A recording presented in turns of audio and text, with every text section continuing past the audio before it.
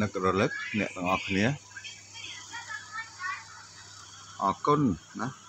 តែងតែទ្រាំទ្រហើយនឹងតាមដាន Channel Hello YouTube all สวัสดีสวัสดีครับអញ្ចឹងវីដេអូនេះគឺយើងនិយាយអំពី capacitor ឬកង់ដង់កង់ដង់ starter ណា ឬក៏កង់ដង់ស៊ីមិចឬក៏កង់ដង់សេរ៉ាមិចឬក៏កង់ដង់សាកឬក៏ច្រោះឬក៏កង់ដង់ប្របាត់ប៉ារ៉ាស៊ីតកង់ដង់ទំនាក់ទំនងណាហើយប៉ារ៉ាស៊ីតបុលប៉ារ៉ាស៊ីតសញ្ញាល់អឺប៉ារ៉ាស៊ីតព្រៃកង់គេប្រើយ៉ាងម៉េចអីយ៉ាងម៉េចអញ្ចឹងនៅថ្ងៃនេះគឺក៏វីដេអូនេះយើងនឹងនិយាយតែនិយាយចប់ឬក៏មិនចប់ យើងនឹងតវីដេអូមួយទៀតអញ្ចឹងដំបូងយើងនិយាយអំពី capacitor ផ្នែកខាងទូរទស្សន៍មុនចោះណាមុននឹងចូលដល់អំភ្លីហើយវាត្រូវនឹងខមមិនគ្នាយើងសួរថាអំភ្លីហេតុអីក៏ចេះតែខូចកង់ដង់អញ្ចឹងថ្ងៃនេះនឹងវីដេអូនេះយើងនិយាយអំពីកង់ដង់តែម្ដងទៅណានេះគឺជាកង់ដង់ប្រើសម្រាប់ភ្លើងខ្ពស់ បានន័យថាភ្លើង200វ៉ុល220វ៉ុល DC ណា220វ៉ុល DC អញ្ចឹងយើងអាចប្រើជាមួយនឹងកង់ដង់400វ៉ុលនេះនេះក៏ជាប្រភេទកង់ដង់សម្រាប់ភ្លើងខ្ពស់ដែរអញ្ចឹង220វ៉ុល DC វាប្រើជាមួយនឹងកង់ដង់450វ៉ុលនេះណា 100មីក្រូហ្វារ៉ាត់នេះគឺជាឌីយ៉ាក្រាមដែលយើងគូអញ្ចឹងគឺអានេះគឺសម្រាប់វ៉ុលចេញគឺអានេះកង់ដង់សម្រាប់សាកឺណាសម្រាប់សាកឬក៏ចោះណាអញ្ចឹងភ្លើងដែលវាចូល AC 220ណាប៉ុន្តែពេលវាឆ្លងកាត់យ៉ូតមកវាតម្រង់ចរន្តបានន័យថាតម្រង់ឲ្យវាត្រង់ណាពាក្យថាតម្រង់ចរន្តហ្នឹងបានន័យថាចរន្ត ឆ្លាស់ឲ្យមកទៅជាចរន្តត្រង់អញ្ចឹងពី AC ឲ្យទៅជា DC បានន័យថា DC វាមានពោលបូកណាបូកចេញមកហើយមានពោលដកណា AC វាអត់មានពោលបូកដកទេណាអញ្ចឹងកង់ដងនេះគឺវាមានពោលខាងនេះយើងដាក់បូកចេញមកខាងនេះដកណាគឺវាមានពោលដូចគ្នាអញ្ចឹងទូរទស្សន៍គឺគេប្រើ220 V AC ចូល កន្លែង power supply ហើយច្រោះដោយដោយដោយយ៉ូតណាដោយយ៉ូតជើង4ហ្នឹង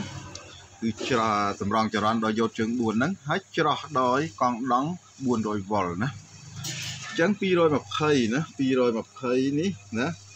220 V ណា220 V DC ណា DC ទេណាដល់ពេលយើងដាក់កង់ដង់នេះណាពេលយើងដាក់កង់ដង់នេះចូលទៅណា ដាក់កង់ដង់នេះចូលទៅ គឺភ្លើងវាត្រូវមាននៅកន្លែងកង់ដង់នេះគឺ300ណា300 300 V ណា300 V DC ណាគឺត្រូវតែមានភ្លើង300 V DC ណាចឹងម៉ាក់សមោមរបស់វា យើងដាក់450ណា450អឺ400 V ណាម៉ាក់សមោមរបស់វាគេថា400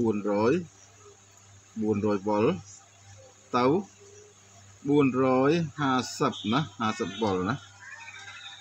គឺ V របស់កង់ដង់ណាហើយ V ភ្លើងជាក់ស្ដែងគឺ200ណា280 80 V ទៅ300អឺទៅ300 V ណា280ទៅ300 V អញ្ចឹងកង់ដងគេដាក់400ទៅ450ហើយភ្លើងរបស់វាគឺ280 ទៅ300ណាពី300គឺភ្លើង220 V DC ចេញពីយ៉ូតមកណាហើយយើងដាក់កង់ដងទៅវាឡើងភ្លើងបែបនេះអញ្ចឹងកាលណាដែលវាចុះក្រោមក្រោម280នេះគឺកង់ដង់ហ្នឹងវាថាបើសិនតែ280ចេញមក260ណា220 240អីអានេះកង់ដង់នោះវាមានបញ្ហាណាមានបញ្ហាអញ្ចឹង យើងសម្គាល់បែបហ្នឹងណាការការយើងវាស់មើលអីយើងគឺការដាក់កង់ដង់អីគឺយើងសម្គាល់បែបហ្នឹងឯងអចឹងតើភ្លើងវាគ្រប់280ឬក៏300វ៉ុលហើយគេដាក់នោះសម្រាប់ធ្វើអីព្រោះ SCA ឬអូតូនោះវាត្រូវការភ្លើង300ចឹងហើយបានគេដាក់កង់ដង់នេះដើម្បីឲ្យវាបាទពង្រីកភ្លើងណាឲ្យបាន300វ៉ុល DC ទៅអូតូនោះវាដំណើរការបានអញ្ចឹងផ្នែកទូរទស្សន៍ផ្នែកអឺ power supply គឺយើងនិយាយប៉ុណ្នេះហើយបន្ទាប់មកយើងនិយាយបន្តពីនឹងបន្តពីអូតូទៅទៀតគឺវល់អ្វីទៀតណាអញ្ចឹងយើងនិយាយអំពីភ្លើងទូរទស្សន៍អញ្ចឹង Panasonic ណា Panasonic គឺភ្លើងរបស់វាគឺ140ណា140វ៉ុលភ្លើង Hori ណាភ្លើង Hori 140វ៉ុល ភ្លើងហអញ្ចឹងភ្លើង GVC GVC ពួកកញ្ចក់ត្រង់ណាពួក GVC កញ្ចក់ត្រង់អឺវិសេបិទឬក៏វិសេធំភ្លើងវា130ណា135 135ទៅហរីណាហើយអឺ GVC ដែរ GVC ស៊េរី N ណាចកត្រង់ក៏ដោយក៏ចកមិនត្រង់ក៏ដោយស៊េរីស៊េរី N ឬក៏ D ណាស៊េរី N ឬ D ភ្លើងវា115ណា115វ៉ុលទៅហរីណាហើយអានេះ Panasonic ដែរអាពួកកញ្ចក់អឺចក់ប៉ោងណាចក់ប៉ោងគឺភ្លើង90ណា អឺភ្លើង90វ៉ុលទៅហរីណាប៉ាណាហ្នឹងចឹងប៉ាណាមានភ្លើងតែ2ទេណាមាន140ហើយនឹង90វ៉ុលពួកអា52 270ឬក៏អឺ52 50ប្រមាណហ្នឹងក៏90វ៉ុលណាហ្នឹងហើយនៅមាន Pana Slim ណា Pana Slim មួយទៀត អឺភ្លើង130ណាភ្លើង130វ៉ុល Pana Slim ណា Pana Slim អឺអ្នកទាំងអស់គ្នាដែលឃើញ Pana Slim ដែរទេអញ្ចឹងភ្លើងវា130 GVC មានច្រើនស៊េរីប៉ុន្តែភាគច្រើនភ្លើងវាតែ135និង115ទេណា Sony 130ណា Sony 130 អឺពួក Sony ត្រង់ណា Sony កញ្ចក់ត្រង់គឺ130តវ៉ុលតហរីណាហើយអា Sony ប៉ោងអា Sony ប៉ោងគឺ115ណា100 115តហរីណាចឹងមាន Sony មាន130ពួកកញ្ចក់ត្រង់ហើយមាន115ពួកកញ្ចក់ប៉ោងអញ្ចឹង Samsung ណាអឺ Samsung នេះ Samsung ភ្លើងវា120ណា120វ៉ុលទៅហរីណាអឺគេដាក់ Samsung ចឹងណាចឹងសាបណាសាបនេះក៏វាណា ក៏ពៀភ្លើង120ដែរ3វ៉ុលទៅហរីណាអញ្ចឹងអានេះគឺមានពួក slim ក៏ភ្លើងប៉ុណ្ណឹងដែរណា Samsung ហើយសាបហ្នឹងក៏ដូចគ្នាដែរភ្លើង120ក្រៅពីនោះមានទូទស្សន៍ចិនណាទូទស្សន៍ចិនហ្នឹងភ្លើង110ណា110គេសេរីសេរីបានទៀតណា100 110 115អីសេរីទៅតាមគេដាក់កញ្ចក់ណាអ ញ្ចឹង110ហើយក្រៅពីហ្នឹងគឺ110ដូចគ្នា TCL ដូចជាម៉ាក់អីផ្សេងផ្សេងផ្សេងហ្នឹងភាគច្រើន110ហើយភ្លើងវាឡើងតិចឬច្រើន តាមទូរទស្សន៍តូចទូរទស្សន៍ធំណាក្រៅពីហ្នឹងហើយបើពួកម៉ាក់នេះគឺយើងធ្លាប់ឃើញវាទេរហូតអញ្ចឹងយើងនិយាយប៉ុណ្ណឹងចុះណានិយាយប៉ុណ្ណឹងចុះហើយចាំលើក្រោយយើងនិយាយទៀតក៏យើងមិនបានចាំទាំងអស់ទេអញ្ចឹងក្រោយពីយើងនិយាយភ្លើង300ចូលអូតូណាអូតូបកាបានភ្លើង300វាដំណើរការអញ្ចឹងវាចេញភ្លើងទៅតាមម៉ាកទូរទស្សន៍អញ្ចឹងភ្លើងកន្លែងនេះភ្លើងបូកណាយើងមើលតាមប្រភេទកង់ដង់គឺខាងនេះគឺដកណាអញ្ចឹងកង់ដង់ចេញពីទូរទស្សន៍ទៅគឺភាគច្រើនគេដាក់200វ៉ុលទៅ160 160វ៉ុលណាគឺ 160វ៉ុលទៅ200ណាទៅ200វ៉ុលណាគឺគេដាក់បែបហ្នឹងហើយអឺភ្លើងរបស់វាគឺចន្លោះដូចយើងនិយាយអញ្ចឹង90ទៅអឺ140ណាភ្លើងវា90 90វ៉ុលទៅអឺ140តែវ៉ុលណា90វ៉ុលទៅ140 តាមប្រភេទនៃទូរទស្សន៍អញ្ចឹងអានេះយើងនិយាយរួមទេណានិយាយជារួមទេអញ្ចឹងនេះជាកង់ដង160វ៉ុលណា100មីក្រូហ្វារ៉ាត160វ៉ុលអញ្ចឹងកង់ដងគេដាក់បែបនេះណាដាក់បែបនេះអញ្ចឹងកាលណាបើយើងសង្កេតមើលទៅលើកង់ដងហ្នឹងហើយនឹងតាមម៉ាកយីហោរបស់ទូរទស្សន៍ហ្នឹងគឺយើងនឹងវិនិច្ឆ័យបានថាក៏ភ្លើងកន្លែងនោះគឺមានប្រមាណអញ្ចឹង ភ្លើងបើសិនជាពួក GVC Series N គឺភ្លើងវា115 Sony ពួកអាកញ្ចក់ប៉ោងគឺ115ដូចគ្នាណាអញ្ចឹងកង់ដងដែលយើងអាចដាក់បានគឺ160វ៉ុលទៅ200វ៉ុលចឹងយើងមិនអាចដាក់លើនឹងទេហើយក៏មិនអាចដាក់ក្រោមដែរបើដាក់ក្រោមវានឹងផ្ទុះហើយបើដាក់លើនឹង វានឹងមិនសាកភ្លើងទេណាវាមិនសាកភ្លើងទេវានឹងអាចមានបញ្ហាបន្ទាប់មកយើងនិយាយអំពីភ្លើងដែលវាចេញពីអូតុងចុងទៅភ្លើងដែលភ្លើងធំជាងគេធំជាងគេផ្នែកបំរើនៅផ្នែករូបភាពគឺជាភ្លើងណា180ណាភ្លើង180វ៉ុលនេះ ចឹង180វ៉ុលគេដាក់កង់ដងប្រមាណគឺគេដាក់250ណា250វ៉ុលនេះជាកង់ដង250វ៉ុលអញ្ចឹងភ្លើងរបស់វាគឺ180ណា180ហើយកង់ដងគឺ250វ៉ុល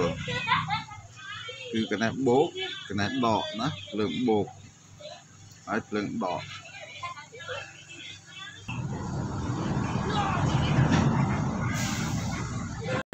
អញ្ចឹងភ្លើងអាកន្លែងភ្លើង180នេះបើយើងគិតជាម៉ាក់សមូមវា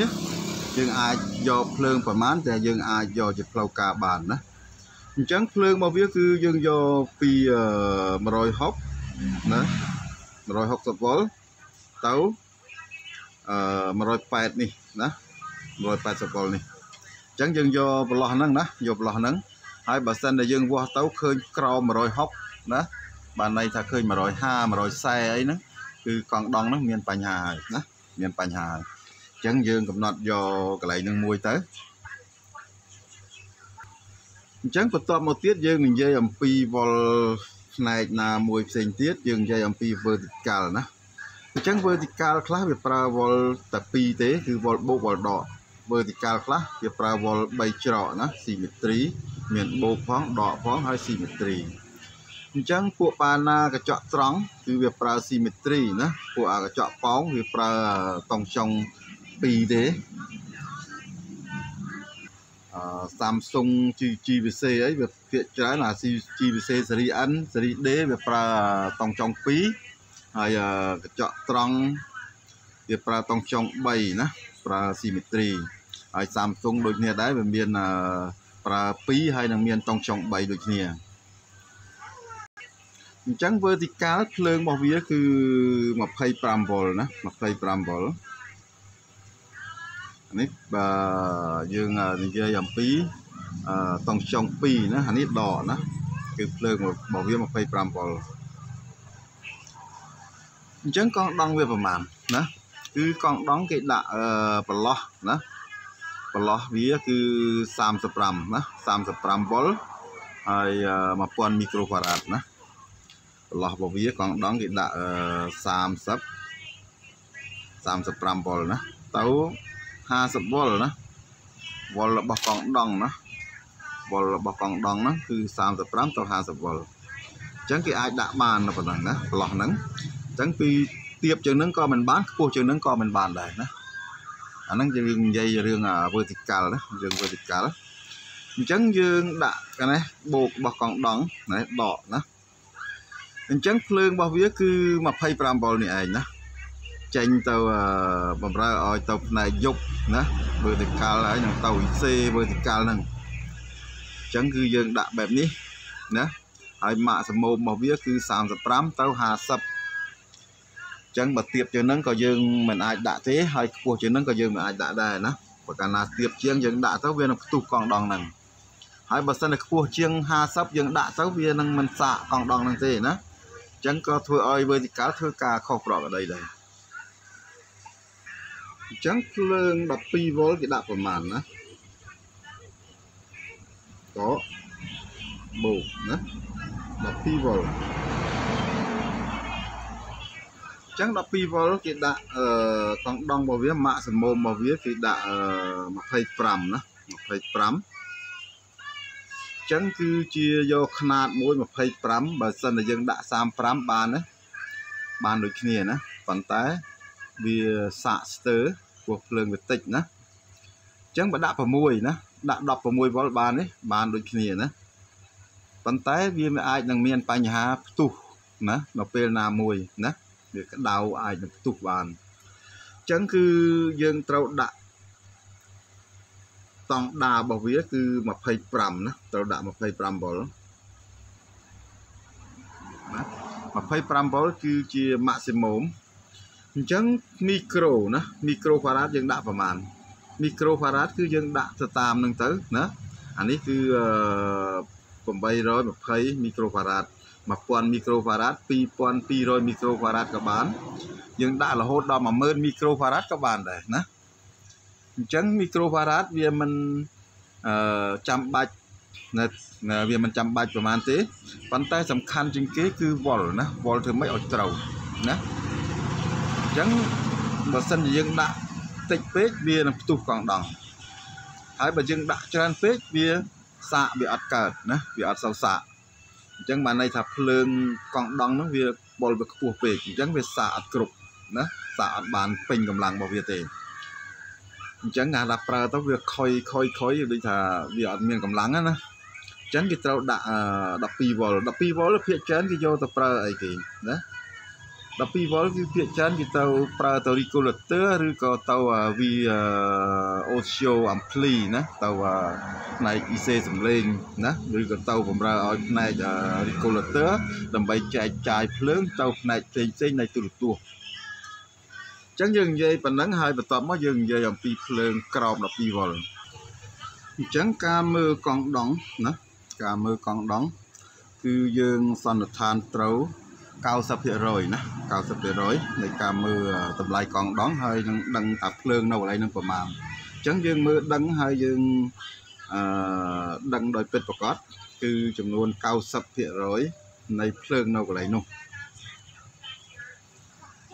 អញ្ចឹងភ្លើងកន្លែងនេះគឺភ្លើងក្រោម10ណាក្រោម10 12វ៉ុលគឺភាគច្រើនគេប្រើតែ8វ៉ុលទេណា8វ៉ុលណា8វ៉ុលបូកណាអញ្ចឹងកងដងគេដាក់ណាម៉ាក់សមោមគេគេដាក់អឺ16ណា16វ៉ុលម៉ាក់សមោមមាន16វ៉ុលណាហើយភ្លើងវាគឺ8វ៉ុលណា អញ្ចឹងកងដងគេដាក់16វ៉ុលអញ្ចឹងយើងដាក់10អឺដាក់16មានលើពី16មាន25ច្រើនណាច្រើនពេកគេមិនសូវប្រើទេហើយបើតិចពេកណា10 8វ៉ុលយើងដាក់10 10វ៉ុលអីក៏វាអត់កើតដែរវានឹងផ្ទុះកង់ដង់ហ្នឹងនៅពេលណាមួយអញ្ចឹងគឺ maximum វាគឺគេដាក់16វ៉ុលណា1000មីក្រូហ្វារ៉ាត់ណា 2000មីក្រូហ្វារ៉ាត់ក៏បានឬក៏470មីក្រូហ្វារ៉ាត់ក៏បានប៉ុន្តែវ៉ុលវាគឺមិនអាចខុសទេណាមិនអាចខុសទេអញ្ចឹងគឺយើងត្រូវដាក់16វ៉ុលណា16វ៉ុលនេះអញ្ចឹងភ្លើងកង់ដង់អឺ5វ៉ុលណាភ្លើងកង់ដង់5វ៉ុលគេដាក់ប្រមាណដែរ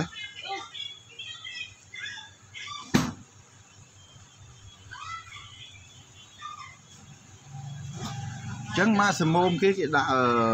5វ៉ុលគេអាចដាក់ដល់10ណា10វ៉ុលទៅ16វ៉ុលបានណាពោះភ្លើង5វ៉ុលគេ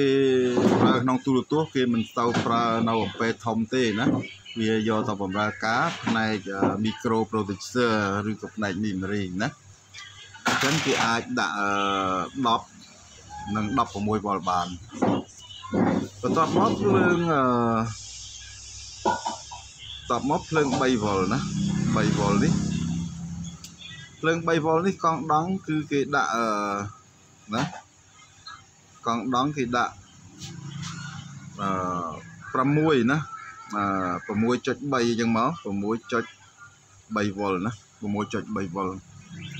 អញ្ចឹងអា6.3វ៉ុលនេះឬក៏ទៅ10ទៅ10វ៉ុលណា គេដាក់បែបនេះដែរណាអញ្ចឹងគឺម៉ាក់សម៉ូមវា6.3វ៉ុលហើយនឹងទៅ10វ៉ុលអញ្ចឹងយើងមានប៉ុណ្្នឹងទេសម្រាប់អឺផ្នែកសាកើឬក៏ប៉ារ៉ាស៊ីតណាប៉ារ៉ាស៊ីតអញ្ចឹងសាកើនិងប៉ារ៉ាស៊ីតហ្នឹងវាជាមួយគ្នាទេណាកាលណាតែវាខូចវាមានប៉ារ៉ាស៊ីតហើយហើយវាមិនទៅសាកភ្លើងដែរអញ្ចឹងវាតែមួយគ្នាទេណាជាមួយគ្នាទេ អញ្ចឹងផ្នែកភ្លើងផ្នែកទូរទស្សន៍គឺយើងមានប៉ុណ្្នឹងទេសំខាន់សំខាន់ហើយប៉ារ៉ាស៊ីតណាដូចជាកង់ដងនេះអីវាប៉ារ៉ាស៊ីត AC ណាភ្លើង AC វាដាក់ប៉ារ៉ាស៊ីតបានន័យថាខ្សែភ្លើង2ណា2ចេះមកហើយវាដាក់កង់ដងនេះណាកង់ដងចេះដើម្បីបំបត្តិប៉ារ៉ាស៊ីត AC ហើយពពួកកង់ដងនេះបើវាបំបត្តិប៉ារ៉ាស៊ីតគឺពួកអាប្រភេទនេះគឺចរន្តអឺ ត្រង់ប៉ុន្តែកម្រិតទៀបទៀបណាដោយ12វ៉ុលចេះណា12វ៉ុលអញ្ចឹងវាដាក់ផ្នែកនេះជាមួយនឹងកង់ដង់នេះមកណាផ្នែកនេះមួយកង់ដង់ចេះអាហ្នឹងគេហៅថាប៉ារ៉ាស៊ីតណាបំបត្តិប៉ារ៉ាស៊ីតហើយអឺពួកចេះចេះដូចគ្នាដែរភ្លើង5វ៉ុលភ្លើង3វ៉ុលនេះប៉ារ៉ាស៊ីតជាមួយនឹងកង់ដង់នេះមកណាអញ្ចឹងកង់ដង់នេះវាប៉ារ៉ាស៊ីតផងហើយថែមអានឹងមួយទៀតដើម្បីឲ្យវាកាន់តែស្ងាត់ល្អណាភ្លើងវាដំណើរការស្ងាត់ល្អ ចឹងប៉ារ៉ាស៊ីតគឺផ្លូវផ្នែកភ្លើងគឺបែបហ្នឹងណាហើយផ្នែកភ្លើងខ្ពស់គឺវាមានវ៉ុលកង់ដង់សម្រាប់ប៉ារ៉ាស៊ីតភ្លើង DC ហ្នឹងវាមានវ៉ុលខ្ពស់ខ្ពស់ណាមានវ៉ុលដូច2 2គីឡូវ៉ុលអីចឹងណា2គីឡូវ៉ុលអីចឹងទៅណាអឺ2គីឡូវ៉ុល3គីឡូវ៉ុលអីចឹងទៅសម្រាប់បំបត្តិប៉ារ៉ាស៊ីតចរន្តខ្ពស់ខ្ពស់ អញ្ចឹងក៏អរគុណណាស់បងប្អូនគ្នាសម្រាប់ការទ្រាំទ្រណានិងការនឹករលឹកហើយយើងនឹងធ្វើវីដេអូផ្នែក capacitor នេះបន្តណានៅវីដេអូក្រោយគឺយើងនិយាយអំពីកង់ដងប៉ារ៉ាស៊ីតណាសាកឺនិងប៉ារ៉ាស៊ីតផ្នែកផ្សេងផ្សេងណាផ្នែកផ្សេងផ្សេងហើយអរគុណហើយសុខសប្បាយទាំងអស់គ្នា ហើយជួបគ្នានៅវីដេអូក្រោយ